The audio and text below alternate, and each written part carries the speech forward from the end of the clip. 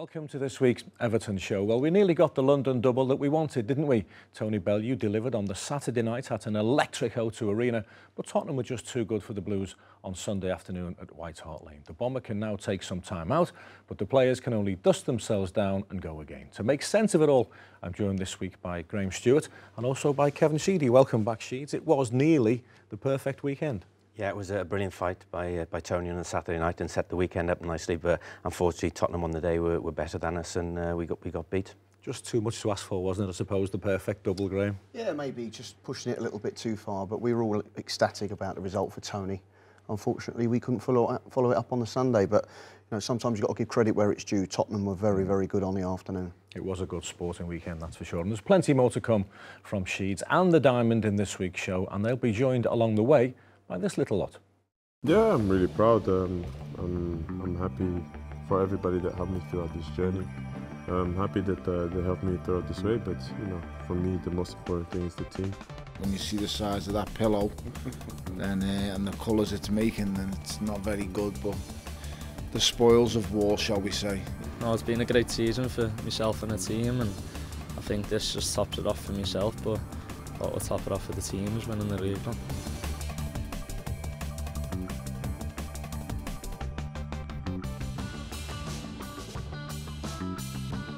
If you play six against six, compare that uh, the last week uh, to the first week of the season, that's a big difference. Now, last Sunday's game at White Hart Lane may have ended in disappointment, but we did at least get the chance to see Romelu Lukaku create a brand new Everton Premier League goal-scoring record when he placed his 61st strike very neatly past Hugo Lloris. We caught up with Big Rom at USM Finch Farm this week, and we invited the previous record holder along to join him. That's a great achievement, isn't it? In such a uh, short period of time. He's not played many games and he's, he's battered the goals, and so fair play to him. He's a fantastic player and he's a real goal machine. Yeah, I'm really proud. Um, I'm, I'm happy for everybody that helped me throughout this journey. I'm happy that uh, they helped me throughout this way, but you know, for me, the most important thing is the team. I want the team to win. We have a lot of potential, and it's time to fulfill that potential. I think. Honestly, I'm not that disappointed. I've lost the record now. I mean, I, I, but um, I'm sure Rom will score many, many more goals. He gets himself in good areas, and he's, he's brave. Because sometimes as a striker, some strikers don't want to get in there.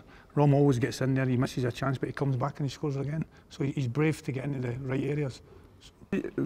Like I said, we didn't know about it until, what was it? Yeah, a few months, yeah, a few months, few six months, months ago. ago. Yeah. That's the thing. We don't, we don't, we don't roll like that. Like we, we just, we, like on the game, he just comes to me, tells me about the defenders, what he's seen, and then we just work and that's it. We are not really focused on the records. We want to win games, and uh, I mean that's the, the, the mentality that I have. He has the same, so that's our, our only focus. But Rom's obviously got a, a real hunger for to score goals. You can see that in the training ground every day. He's a perfectionist. He works extremely hard. He works off his left foot. He works off his right foot. He, he's an all-round player, and um, yeah, and um, his hard work's paying off. He's always the one that gets me out there He's the one that's willing to help me doing my finishing and stuff. So it's been a nice journey, and you know we, we are happy that uh, the, with the work that we are delivering. But like I said, we both know that uh, I can do more, and I want to do more, and I want to help my teammates achieve more. So um, we're happy for the moment, but we have to move on forward like uh, like we do all the time. Kev, big Rom there paying a lot of credit to Duncan Ferguson. You've worked with Big Duncan as a coach. What sort of bits and pieces will he have passed on to Romelu Lukaku? Uh, he's a very passionate coach. Uh, really thinks about you know coaching sessions, always trying to come up with new ideas, and obviously his finishing drills are, are paying dividends. I mean, Rom's just a goal machine at the moment. He's oozing confidence. Doesn't look like he's going to miss, and he's, he's in great hands with with Big Dunk. So Big Dunk won't just be teaching him how to get up and head the ball and be physical. He will be bringing certain tactical aspects to his game. Indeed, yeah, he'll be doing different movements for him to, you know, to, to get into scoring positions and, and obviously uh, just repetition on the on the training ground of, of goal scoring. When Rom gets through on goal at the moment, Graham, he just doesn't look as if he's going to miss. I think that's the biggest compliment we can pay him. You know, we, we fully expect the net to bulge. Um, you know, and it doesn't matter whether it's on his left foot, his right foot against Tottenham on Sunday. You know, he just doesn't seem to miss. At the very least, he hits the target and makes the goalkeeper work.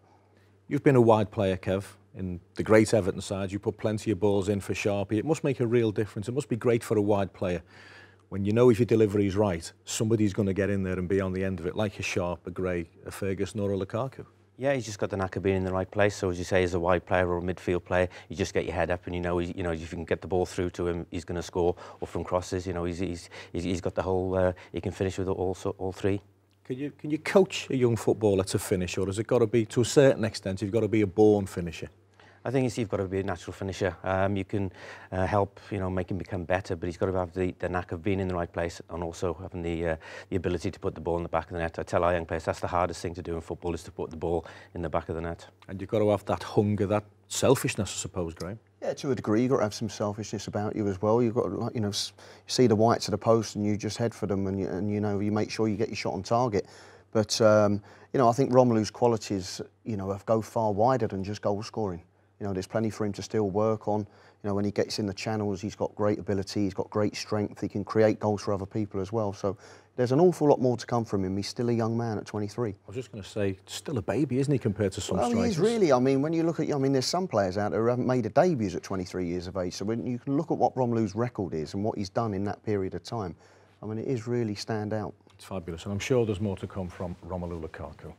Now, of course, the big sporting news of last weekend was obviously the fantastic win for Tony Bellew against David Haye on Saturday night. The lifelong Evertonian gave the performance of his life to beat his somewhat outspoken opponent, but his 11th round victory certainly took its toll, as we found out when Tony Bellew came to Finch Farm on Monday morning to start the recovery process. Uh, do you know what? I'm I feel a little bit better after being in the uh, the ice box, as we like to call it. The cryotherapy really helps me, and the, the medical staff here always look after me and make sure I'm right.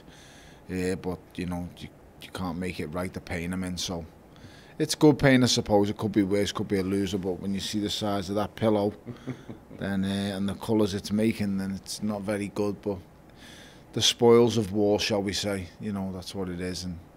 I've come out the winner and I'm victorious, so you know I'm happy. I'm happy, just happy to get home safe to me three kids and missus. Ronald Koeman looked like he enjoyed the conversation with you there in the Finch Farm corridor. He did, he did. He's uh, he was throwing the punches with me at times, telling me, you know, go and do him, finish him now. And I said I was trying my very best, but it, it was it was tough at times in there. It was a hard fight, uh, a long fight, longer than anybody anticipated. But you know, it's done now, and I'm. Uh, we'll see where we go from here. So, what's the plan for the next few weeks then, Tony? Uh, the plan for the next few weeks, I would say rest and recuperate, enjoy my time with the kids and missus. Uh, the school was as vibrant as ever this morning. Nothing's changed. Uh, I'm just going to be me, Daz, and that, that's a, the, the father, the normal person that I am. And I'll make no rash decisions. I'll be honest, at this moment in time, I'm thinking that could be the last time I would make that ring walk on Saturday. That, that could have been the last one. Uh, I could happily go out on that. I've I've achieved all all the things I could have dreamed of and more. I've exceeded them, to be totally honest. And uh, I've just defeated the, the former heavyweight champion of the world. Graham, you and I watched the big fight down in London. It was some performance by Bomber, wasn't it? It was a brilliant performance. It really was. It was full of excitement. We, no one was really quite sure what was going to happen. We were expecting fireworks in the first few rounds. I think David Haye helped Tony in some respects. I mean, I know Tony got caught a few times, but I expected David A to come out an awful lot quicker and stronger than he did in the first three or four rounds. It was a little bit cagey, but I think we always, all of us kind of felt that the longer Tony could take the fight on, the, the better chance he'd have, and that's how it turned out. And as you can see from our piece of film there, Tony still in a bit of pain on the Monday. It, it, it's brutal, isn't it? It is, and um, you know, say it was a brilliant fight. Nobody really expected it to go that distance. Um, you know, so there's a lot of uh, punches thrown, a lot of hits taken, and uh, you know, he came out victorious, which, which was great. Minus 140 degrees, that ice chamber diamond. But it felt good though. he looked a sore man. He really did, and, and Kevin's right. You know, it's, it's a long time to, to be in a ring with a, a good fighter like David Haye, and he took some of his best shots as well. Let's not forget that. This is, you know, Tony was giving up over a stone in weight to him. So when you're getting hit by somebody like that, over a period of 11 rounds. It's an awful lot of punishment to take, but he never really ever looked too troubled, Tony, did he? So credit to him, brilliant performance. He's a terrific lad as well. Always great to see Tony Bellew down at Finch Farm. And he's always got time for the supporters on a match day as well. And that's it for part one of this week's programme. After a short break, we'll bring you highlights of the under-18s win against Wolverhampton Wanderers. And we'll catch up with the Premier League 2 Player of the Month, Liam Walsh.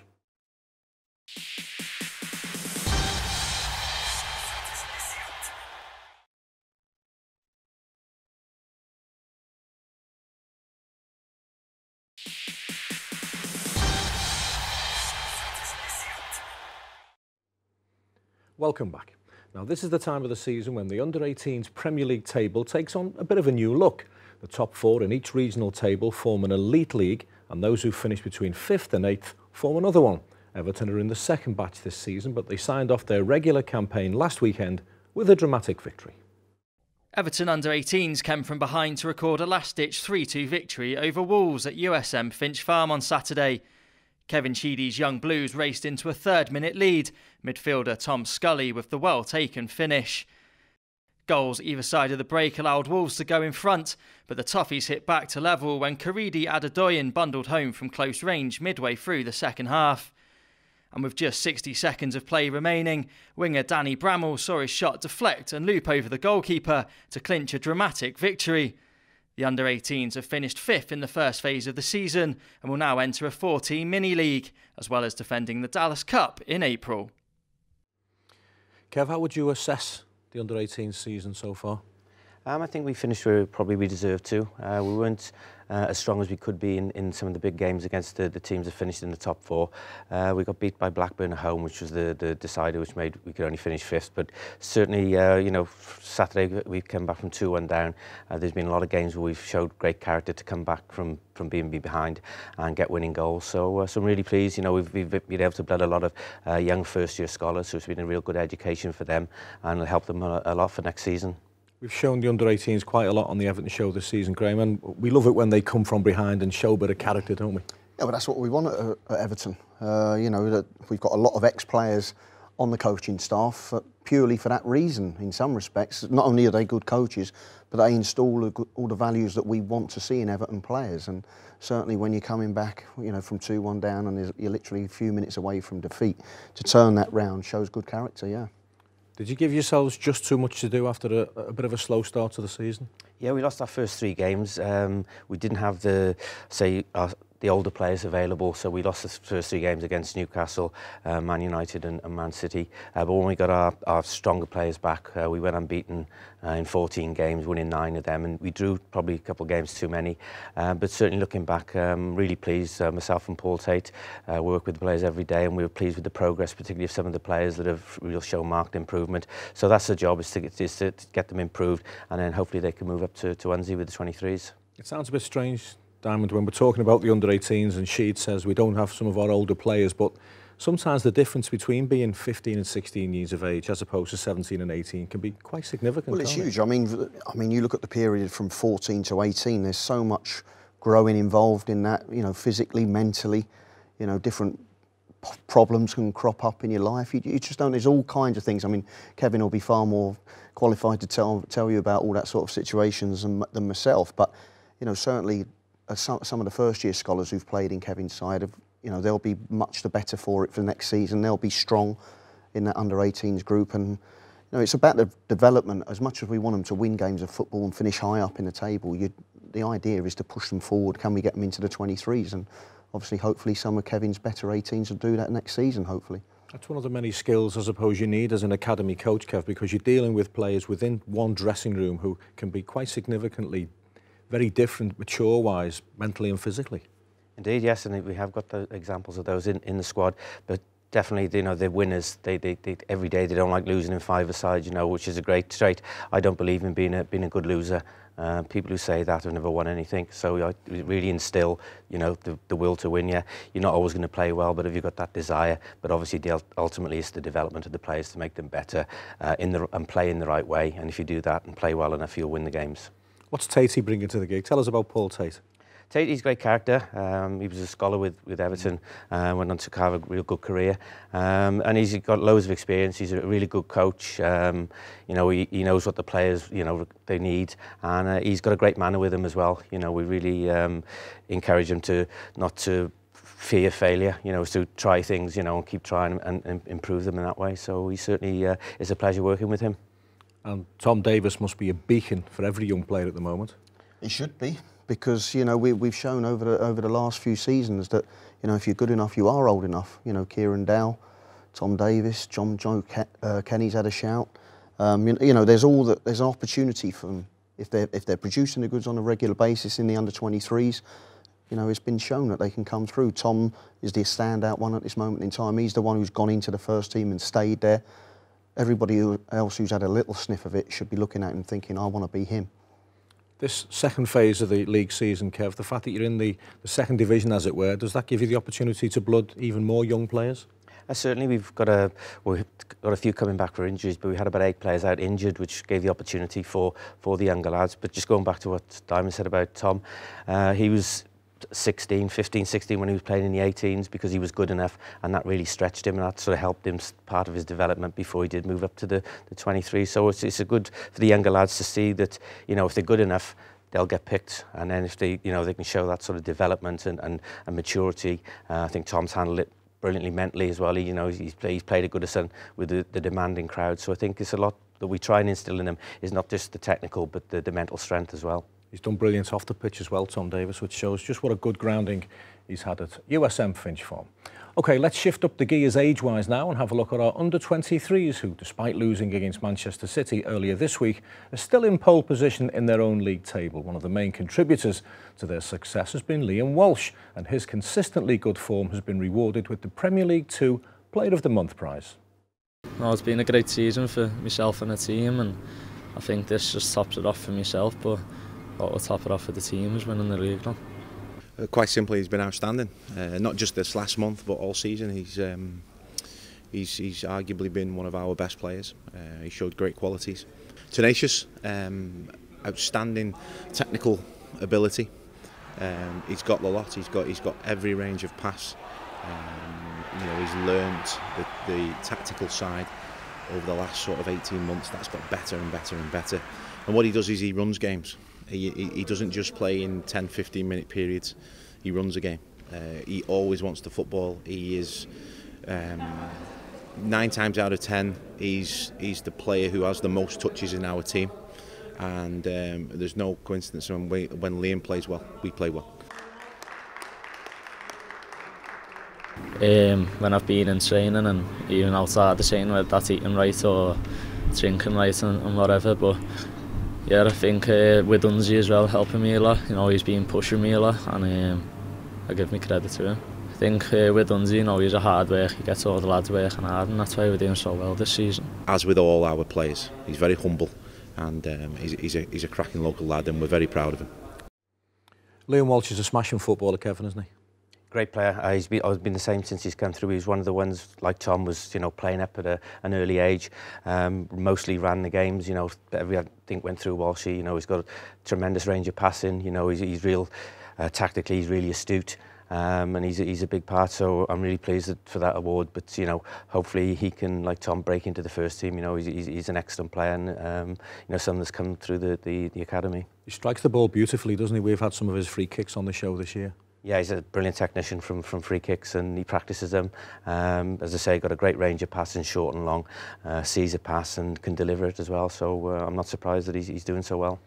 And he likes to tackle as well, which is something else we've mentioned a lot on the Everton show. And the little loan spell he had at Yeovil, they loved him down there because even at League One, League Two level, he was getting stuck in, Walsh. Yeah, well, I think sometimes that is the advantage of sending these young lads out on loan. You know, they get to play what I call proper football in some respects, and I mean that in the nicest possible way in terms of playing against men who are fighting for three points on a Saturday afternoon. So he has got the tenacity about him. He's got a little bit of fire in his belly. So with all those attributes technically that he's got, there's nothing wrong with you know making a tackle, even though the modern day game tries it looks like it's trying to get rid of it. But uh, no, I like Walshy. I think he's got a good chance, and I think. Uh, you know, he's got to keep his good work going to the end of the season and then have a really good pre-season next next year, and hopefully he can push himself into that first team squad. People regularly mention his size or refer to him as Little Walshy, but size doesn't bother Liam Walsh, so shouldn't bother anybody else. There's enough quality players in the Premier League who are well under six foot, for example. Of course there is, yeah. I mean, there's, you know, sometimes when you're, you're smaller, you know, there's a bit of a stigma attached to you, and people look at you and think, oh, I'm not sure he'll deal with it on a physical basis. But, you know, that's up for up to Walshy to show everybody that that is, you know, size doesn't matter and he's got to get out there and, and, and run games of football like he's shown. you know, this season. So, as I say, next year for me is a big one for him. You have players that go from the 18s to the 23s, have a little run in the 23s, then come back to the 18s. How do they deal with that? Um, generally okay. Generally, they're, they're, good mentally. Uh, we, we do speak to them to say this. You know, in our experience, this is what happens. You you will go up there. You will get your opportunities. But then, uh, players come back off loan or players that are injured come back in in their position, then you'll come back and play for us. And 99.9% of lads we, we find are, are fine with that. There's a mental toughness, isn't it, involved with stepping up from the 18th grade to the 23s and then from the 23s to the first team? Yeah, of course there is. I mean, there's, you know, challenges all the way from what, whatever age you're playing at. But certainly, um, I would guess the biggest jump is obviously from the 23s into the first team and, and staying there. Like Kevin says, you know, you know, we've had lads who have gone from the 23s into our first team. Tom's the only one who's really made it stick so far, but that's not to say they can't come again. They've got dropped down to the 23s, push on again. I'm sure the production line will keep on rolling. And that's us for part two, we're at Finch Farm. For part three, we're Morgan Schneiderlin. We'll be answering questions from the Junior Fans Forum. And Ronald Koeman, Phil Jagielka and Graeme Sharp take on the British Open Golf Challenge.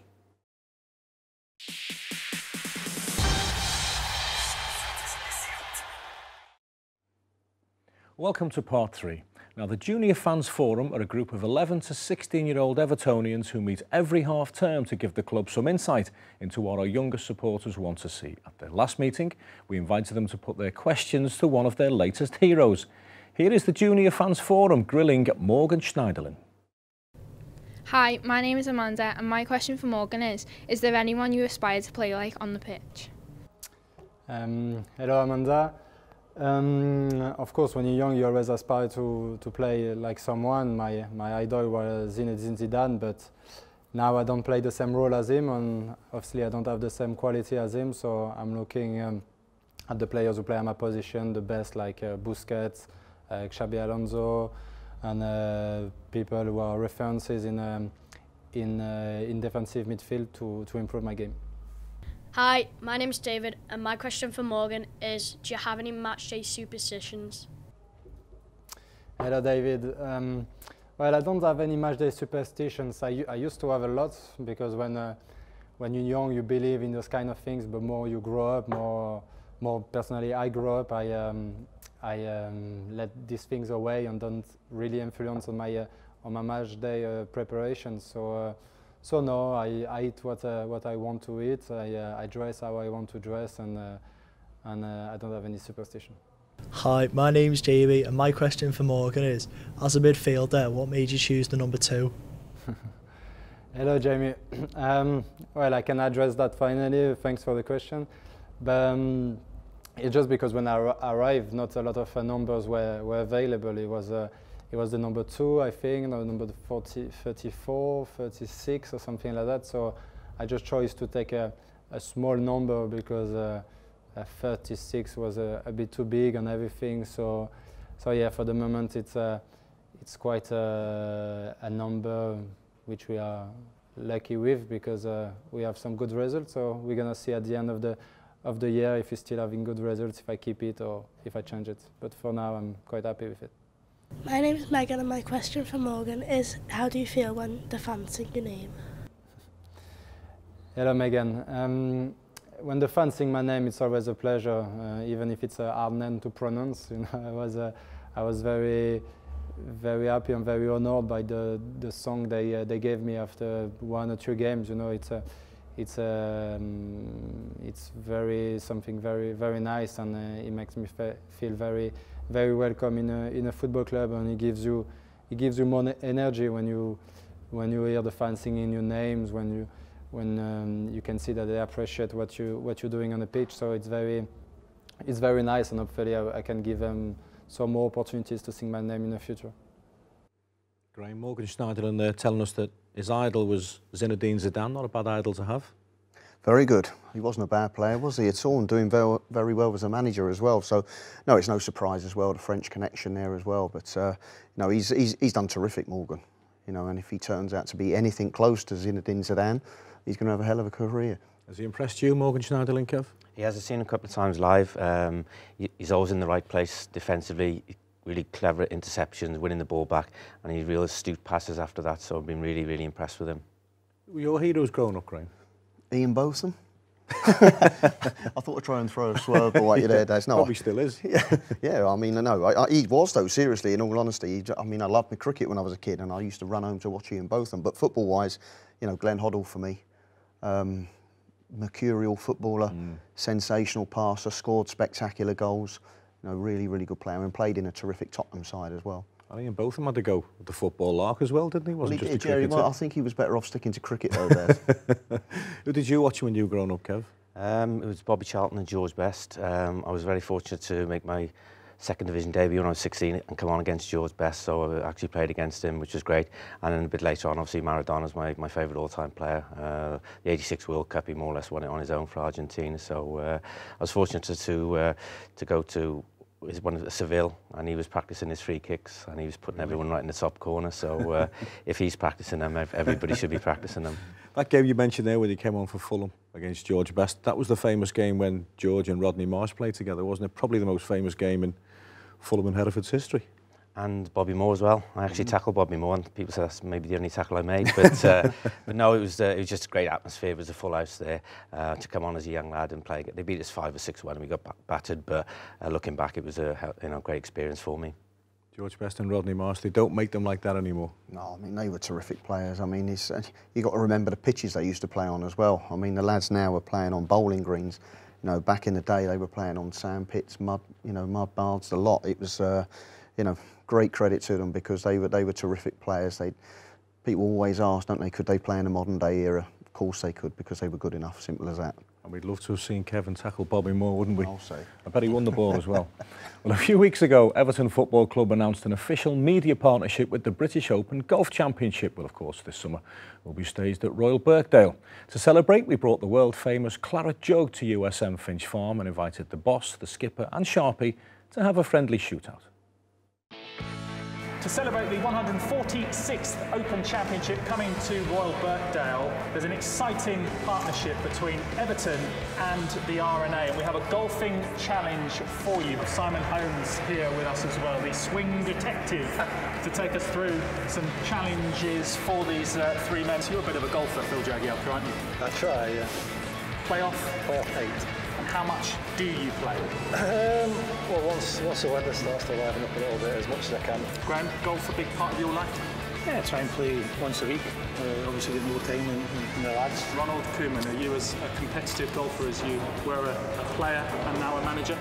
Yes, but uh, when I was player, I had more time to play and to practice. And your handicap, just so we know? Uh, 11. Okay, right. So we are set. Okay, Phil, here we go. About 60 yards, okay? Birkdale, pounding wind across you.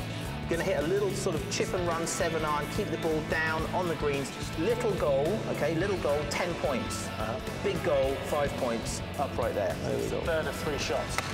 There we go. There we go. Oh, down. Five. Oh, get down. Yes. Ten. That was the critical one. Well, a links golfing. yes. Second challenge. And we're looking for the closest to the pin. Ten points for the winner, five for second, and zero for the third. Don't go long, mate. There's water behind. Oh, I like it. Get up, get up, get up. No, a very tidy effort. Oh, bunker. Oh, so the pace was good. Oh, I've gone round the bunker though. Oh, oh. dear. 10, 5, 0. Last challenge. So we're looking for the long putt. Again, it's closest to the pin. 20 points for first place, 10 for second, 5 for third. And I think probably leader in the clubhouse has to get up there. And remember what you're playing for, Graham. Yes. Yeah. Remember. Yes. That's hopeless. Gotta go, gotta That go. is hopeless. No. No. Oh, oh, oh, hey! Got a chance. Oh, I think that's inside Sharpies. We're going to need to check this Yeah. out because I think this is a Stewart's lot inquiry. tighter. That's Ronald, who's come from last, leapfrog. The wise head defeats the two athletes. Early shout for champion golfer of the year. You've got to say, best Astroturf golfer in here today. best Astroturf golfer. Winner of the gold medal, champion golfer of the year. Thank you. Round of applause, ladies and gentlemen. Before we talk about the golf, I've got to ask this question. I'm intrigued about you tackling Bobby Moore. Did you win the ball? I actually fouled him, uh, and he he just looked at me. So, uh, so I don't think he's very impressed with this young lad that's come on, but uh, that was it. Something to say you you foul Bobby Moore anyway. That will have killed Sharpie that diamond, losing on the final putt. Yeah, I mean, he'll be disappointed. I mean, somebody who plays the amount of golf that Graeme Sharp does, you know, to not win that tournament, he'll be a very, very devastated man. I even is Sharpie in the Open this year. Seriously, I've never, you never see him. I'm, i feel sorry for his missus. I think he sleeps with his golf club, Sharpie. Surprised we didn't see Snods taking part in that. Is, is this true that he's retired from active yeah. golf? Yeah, I mean, he's, I think he's retired active golf, but I've, I've offered him the job of carrying my bag on the odd time that I get to have an opportunity to play. But I don't, I can't even mention what the reply was. the odd time you get the opportunity, that makes me smile. Are you still golfing, Sheeds? Um, I've had to stop playing since I had my, uh, my knee replacements, but um, I'm, I'm getting better, so I'll, probably one day I'll, uh, I'll have a knock. It's great, isn't it, that the Open's coming to Birkdale? Brilliant, yeah. They always have great uh, tournaments there, and you know, some been some fantastic winners over the years when it's been at Birkdale. So uh, hopefully, I'll get a chance to, to go and you know watch one of the rounds. You could probably look out your back window, couldn't you, Graham?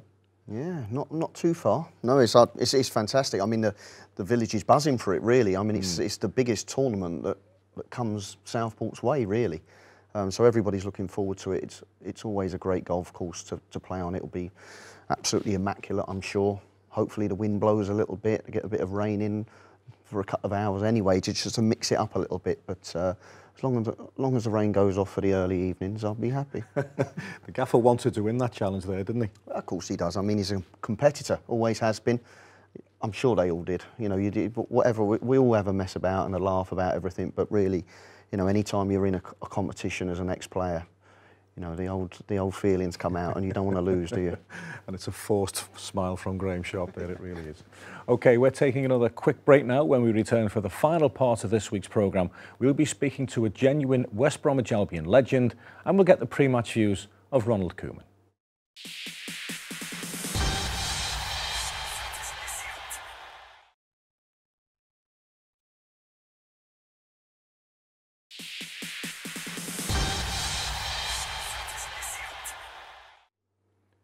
Welcome back to the fourth and final segment of this week's Everton show.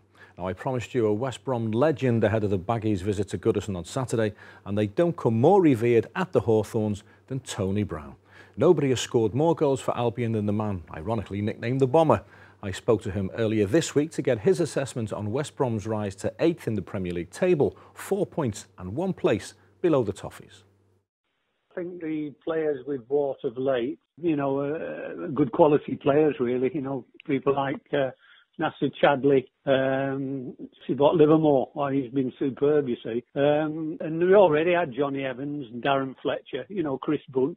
James we had quality players, but he just added, he just keeps adding, he's added a little bit more to it of recent uh, signings and um, I think it's allowed us to to open up a little bit and just play a little bit more uh, football. To be fair, we've got a great keeper at the back. I tell you what, Ben Foster's been brilliant this season, absolutely out of this world, and uh, he's he's been a big factor as well. Uh, you know, in uh, in the the good run we've had this season.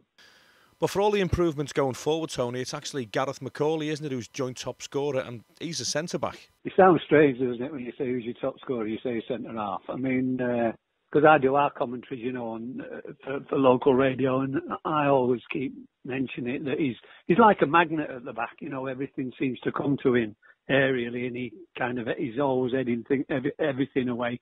But at the other end, he's, he's a threat as well because he, you know, he's a tall lad and he can climb he's not just improved recently. He's been uh, he's been our best player. I've picked him probably three seasons out of the last four as our player of the season. You mentioned Jake Livermore before, Tony. Just how big an impact has he had? He's come into the side. He's he's got um, he's got a great engine, as they say now in the modern days. He's you know he's, he's very strong in the tackle. He's quick he's he's got everything uh, for a for a midfielder really, and uh, just got healthy, healthy competition, and I think that's the thing. They've got you know more more healthy competition all over the park. And just finally, Tony, how do you see Tony Pulis approaching the game at the weekend? What he is, he's got them well drilled and well organised, and that's what you'll see on, on Saturday. You know, they won't throw men forward. You know, it'll it'll just be a disciplined performance and uh, of absorb pressure and uh, but now, like I said earlier, you know we've we've got the players to to spring and break and uh, and score one or two goals. Tony Brown there, an Albion legend, he does know about the art of goal scoring, and as he touched on there, Gareth McAuley, centre half, is one of the Baggies' joint top scorers, Graham.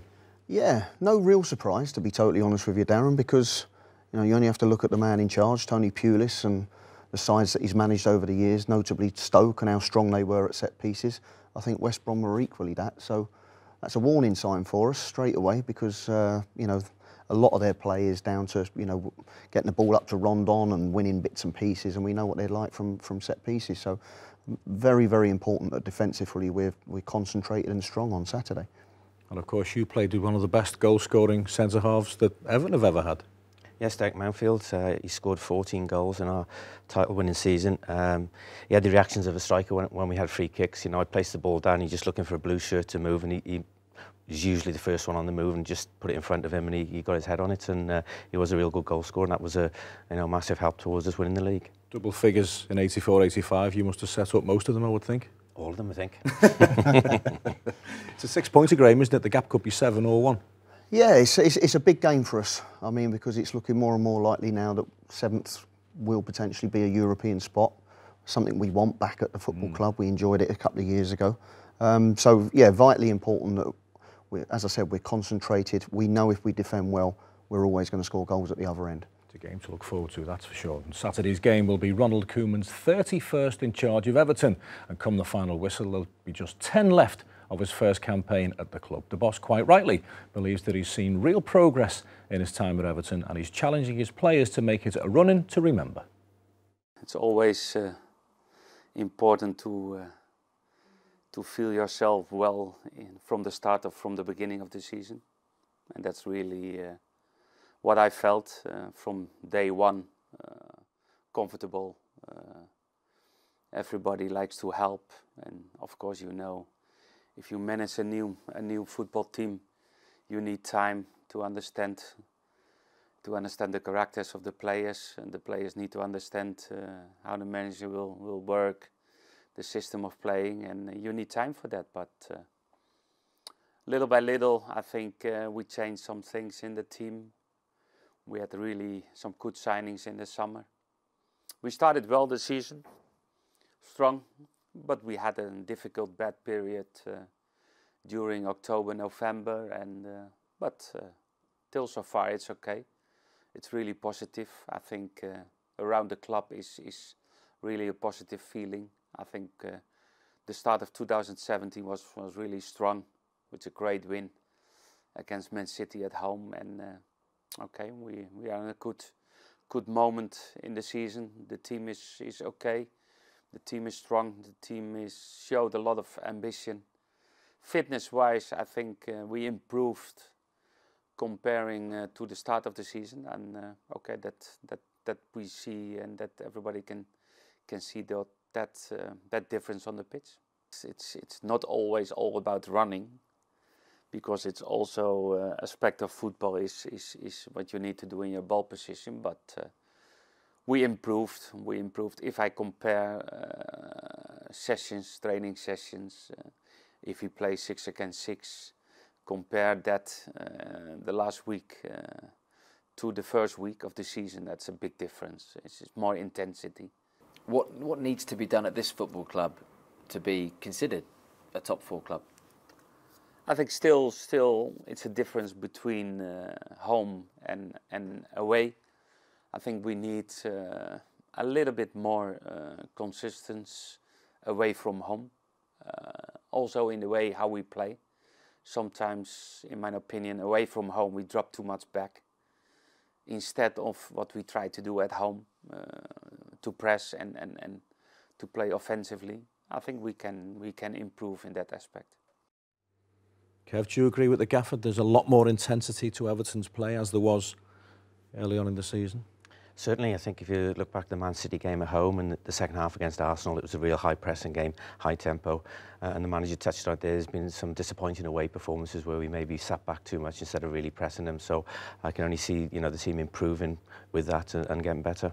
Defeat against Tottenham last weekend, but it shouldn't dent the confidence too much, Diamond, because it was the first Premier League defeat of the calendar year. Yeah, I mean, no, don't get carried away with it. You don't get too high when you're winning, and you don't go too low when you lose a game of football. I mean, I think if we look back at the Tottenham game Sunday, that's where he wants us to be the manager.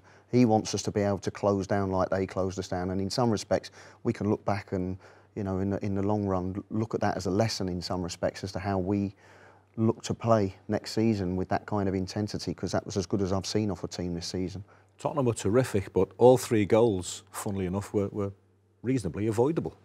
They were. That's a disappointment. If you score good goals, then you know you hold your hand up. If someone puts it in the top corner from 30 yards, but uh, you know they were poor goals to concede, and against a, a top team like Tottenham on the day, then it was always going to be uh, a, a struggle to get back into it. Just finally, we will be paying tribute at Goodison Park to the great Alex Young on Saturday. Terrific footballer and a lovely man. A really nice man. I had the pleasure of meeting him a couple of times. Very humble guy. Um, desperately sad to hear of his passing but he will no doubt go down as one of Everton's true greats. He will be missed, the Golden Vision. And that just about wraps up this week's show. My thanks to Sheeds and Diamond for joining us. And there's just enough time for me to remind season ticket holders that the clock is ticking if you want to guarantee your seat for next season. 6th of April is the cut-off date. And trust me, there are plenty of people waiting if you don't want it. Visit evertonfc.com forward slash all for one for more details. And let's hope that it's a season to remember. 1878. St. Domingos. We know our history. We embrace it. Where football became science. Where vision was golden. Where the Trinity was holy. Where the greatest number nine inspired every number nine. And where players became giants by being nothing but the best. The Old Lady, our home for generations. Where kings play in royal blue. Where we stand together, sing together, fight together. Whatever the outcome, always together. We're more than a crowd. We're a family. Following in the footsteps of our parents and grandparents, the story we will carry on. Our past may define who we are, but we dictate what we become. We're forever Everton all for one.